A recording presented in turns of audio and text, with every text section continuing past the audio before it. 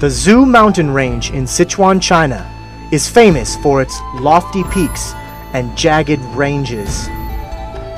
Within these mountains dwell legends and secrets. One of these is about immortals possessing supernatural powers. They fly on their swords, chasing the wind and the stars. They tune their minds and bodies in search of the eternal truths of the universe. It is said that the golden peak at the top of Omei Mountain leads to the mystic secondary world of Zu Mountain. Upon the end of the first great battle between good and evil, many of the righteous masters were forced to commit suicide.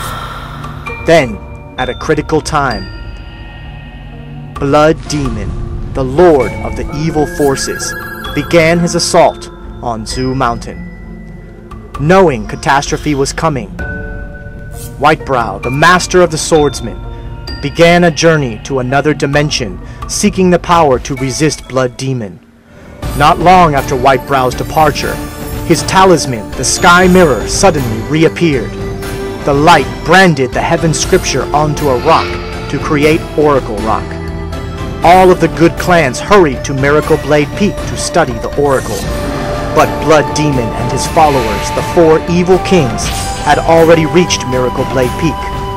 The forces of good fought hard against the evil forces for ten long days. But the intensity of the battle smashed the Oracle Rock into pieces and scattered them all over the secondary world, leaving any victory hollow and meaningless. This became known as the War of Miracle Blade Peak. In the South Sea, the Moon Maidens in Xin Palace had been suffering from wars caused by Blood Demon. Yuan Ti, a hateful monster, was trying to smash Xin Palace. Yuan Ti took advantage of the chaos of Xin Palace, and at the same time, the Dragon Lord sealed in the mountain 9,000 years ago was slowly stirring from the influence of Blood Demon.